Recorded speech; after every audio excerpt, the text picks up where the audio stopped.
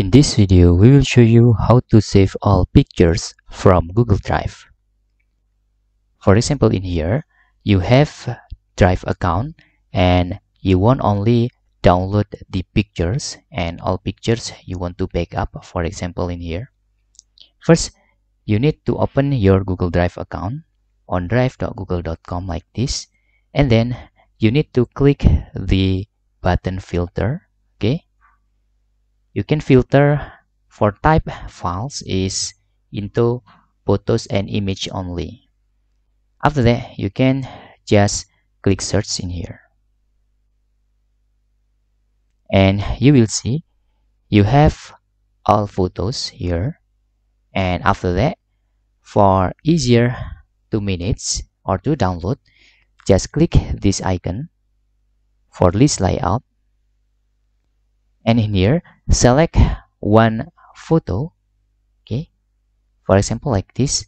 Then you can select all the photo by clicking this button.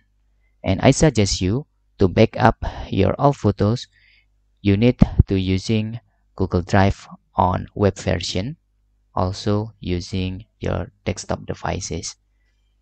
Just select all files on screen in here. If you want don't include some file for example you can just untick this. Okay. After that in here you can just click this download button and the google drive will preparing your all files to be zip after the zip is done the download will automatically appear look like this. And you can click save.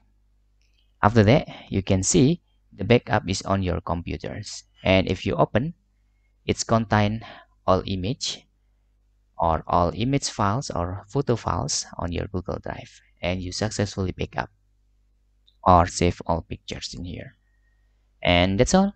Tutorial how to save all pictures from google drive. Hope this video helpful for you